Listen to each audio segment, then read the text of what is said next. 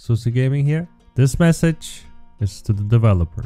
I'm gonna talk about the future of the Manor Lords. Really enjoyed the demo. In this video I'm gonna suggest how to make this game better till the full release. Number 1. Integrating Bannerlord's combat mechanic.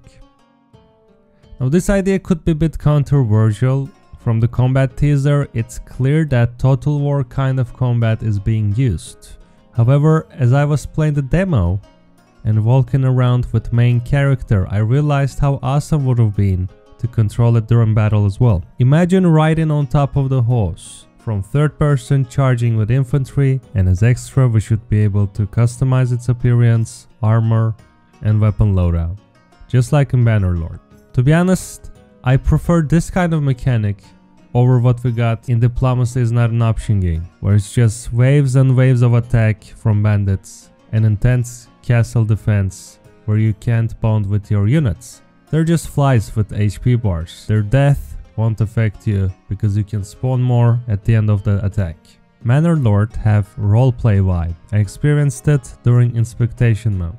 Fighting alongside your army is the coolest thing ever and Bannerlord is a good example. It's my top request, maybe developer already working on system like this, maybe not. Number 2. Workshop. There's a lot of games on Steam that are boring as vanilla, but extremely enjoyable with Workshop community mods. Don't even need to give examples. I don't see any reason why we shouldn't have it in Manor Lords as well.